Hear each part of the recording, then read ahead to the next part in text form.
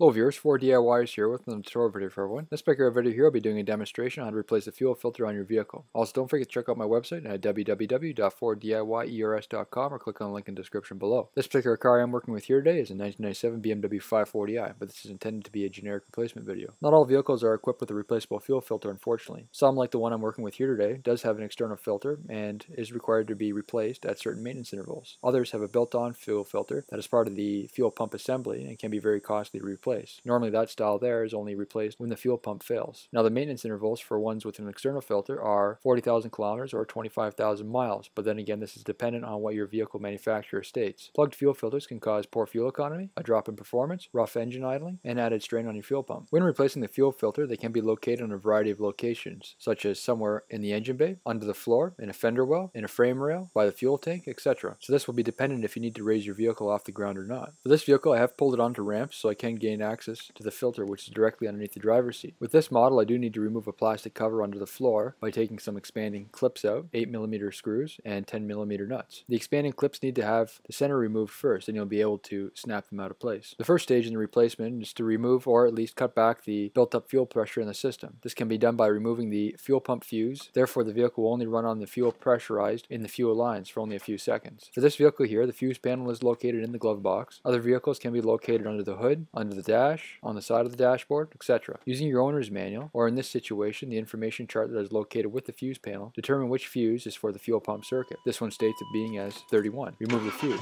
Now go ahead and start your vehicle. It will only run for a few seconds until it uses up all its pressurized fuel. For this particular vehicle here, here's a location of the expanding trim clips.